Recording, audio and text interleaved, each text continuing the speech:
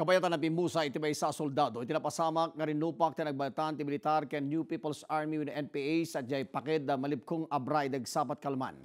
Nabigbig ti pimusa ay nga ni Second Lieutenant Saldi Lapis kamang ti 72nd uh, Division Reconnaissance Company ken taga Iloilo City.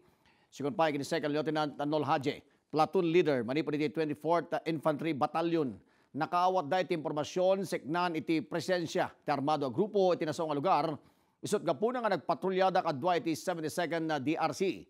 Kabayatan ito operasyon da kat nasalaw ken nakarangat da iti nasurok kumurang upat apulo nga kamang ti kulusang laralang larangang gerilya North Abra.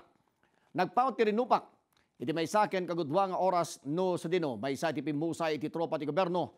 Bayat nga dokdok talen dapay lang no da iti pimusay wenno nadangran iti banag dagiti kalaban. Manariman ita ti hot pursuit operations dagiti soldado kontra kadagiti nasao a rebelde.